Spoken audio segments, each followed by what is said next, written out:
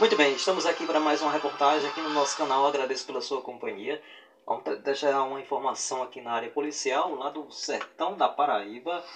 A informação é que a operação cumpre mandatos e prende dois suspeitos de roubar gado no sertão da Paraíba.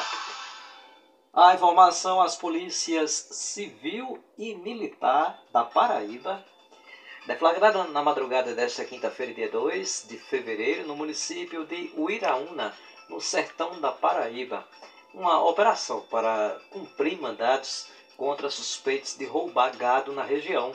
Os dois alvos principais foram presos na Operação Ladrão de Gado 3, que cumpriu aí sete mandados de busca e apreensão e outros dois de prisão. O delegado seccional Ilamilton Simplício explicou que a ação foi exitosa e tinha por objetivo coibir o roubo de gado na região do sertão da Paraíba. Portanto, foi essa a principal informação na área policial.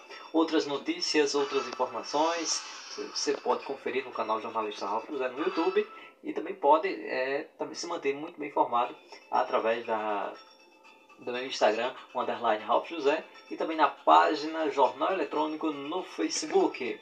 Um forte abraço e até a próxima oportunidade, se Deus quiser.